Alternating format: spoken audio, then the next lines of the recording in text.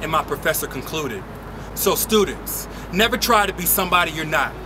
So I raised my hand and asked, but what if you have a reason to that you can't live without? The class turned and laughed. I kept a straight face. I said, what if changing is the only way she'll stay in? You can't let her go because while you can always find another pretty face, the memory simply can't be replaced. And he responded, are you suggesting that one should pretend? I answered, no sir.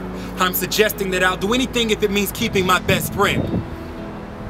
The room fell silent, with all eyes on me.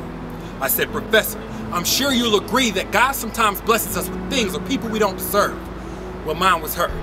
And not knowing what you got until it's gone is a lesson I don't want to learn, but currently I can't afford my woman's worth. But if losing who I am now so I can build a future with her is necessary, then I'll give anything and everything to become a man who's ready. Please, you gotta help me. I'm running out of time. What sociologists have you studied that could turn me into somebody I'm not? A man with no scars from the past, no strings attached, no trust issues or lust issues when skin tight jeans walk past. See, the polygamous habits I developed to be accepted as a player are the very things I'm afraid of will eventually cause me to play her. I don't make it easy to love me, but she does it anyway. She stayed down from the beginning when I didn't have a dime to my name. And all my fake friends turned their backs on me and just walked away. She grabbed my hand, told me to kneel down and pray. That everything will be alright if I just kept the faith.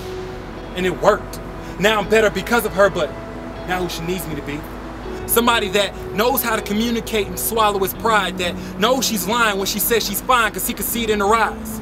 Somebody that never forgets to compliment when she switches her hairstyle. Tell me, Professor, how can I become that guy? Don't get me wrong, I treat her right.